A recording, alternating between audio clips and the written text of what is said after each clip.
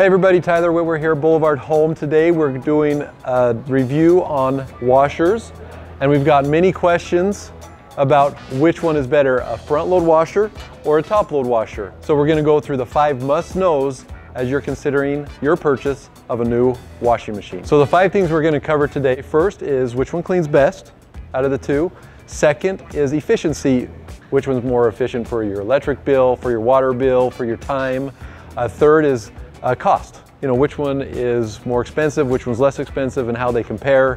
Fourth is convenience, uh, where they, you know, how to, how to place them in your house, can you stack them, things like that. And fifth is uh, ease of loading your clothes into the washer. Okay, we're gonna start first from number five, which is ease of loading your clothes. So as we look at the top load and the front load washer, Obviously, let's start with the top load. You open the lid, everything goes in from the top. Some of the issues this causes is you gotta reach way down into the washer. So if you're short, you have shorter arms, arm lengths, sometimes it's hard to get everything out from the bottom.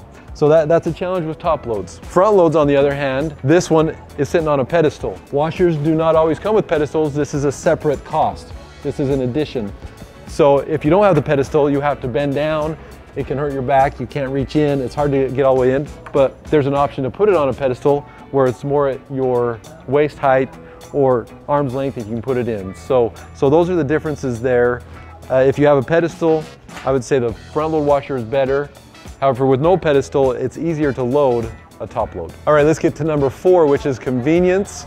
So convenience plays into where do you put your washer and dryer in your house? Sometimes we have limited spots. So a top load is what it is. You can't stack anything on top of it. You need a certain amount of space to put the top load washer in. A front load, you don't have to have this pedestal. You can actually stack the dryer on top of the washer so it can take smaller spaces and can use those more efficiently. On the flip side, front load washers can be more expensive to maintain. Sometimes there's mold and mildew that builds up that you need to clean out uh, because uh, it doesn't drain as quickly and as easily as maybe a top load does.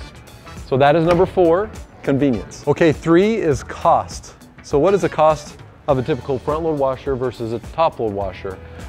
They can vary widely. Typically, however, top load washers have cheaper price points versus a front load washer. Many times front load washers average in the range of $7.99 to $12.99 versus a top load washer can go from $3.99 all the way up to $12.99 as well. So depending on what you want, where it's at, top load washers will tend to be less expensive than a front load washer. So number two is efficiency. Which washer is more efficient? We have three metrics we're gonna measure. First off is electric. So which one's more efficient for your electric bill? As we look on here, every washer will come with an energy guide savings. On this washer, it says $9 per year use. This one says $14 per year use. So in terms of electricity, the top load washer tends to be uh, more efficient and costs you less. So second is water consumption. The front load washer does a much better job in using less water, more efficient, and it says up to 40% better than a top load due to the fact that top loads have to have water fill up the drum to wash your clothes. So our third metric is time savings. We all need more time in our lives. What are the wash cycles like? So as we're comparing normal wash cycles, top load washers tend to be a little shorter in the amount of time it takes to wash your clothes. However, many of the front load washers now come with speed cycles uh, with wash cycles as low as 15 minutes for very small loads. So overall, efficiency, it depends on what you're really going for. Uh, they both have their advantages and depending on where you live, one might be a bigger advantage over the other. So we're down to our number one factor that we all want to consider when we're thinking about purchasing a new washer, and that is which one cleans better? Does the front load washer or the top load washer clean better? There's many people out there just swear by the fact that top loads have cleaned better forever, they clean better than the front loads, but it really depends. So as we're looking at what we're needing to do, top loads do many times clean very well when they have an agitator, but a lot of times the agitator is very rough on your clothes. So if you have delicate articles, clothing, things like that, a top load with an agitator may not be the best choice but it may clean very well. Front loads, on the other hand, are more delicate to your clothing. They wash very well, and there's many new technologies out there that are making front load washers wash much better than they used to wash.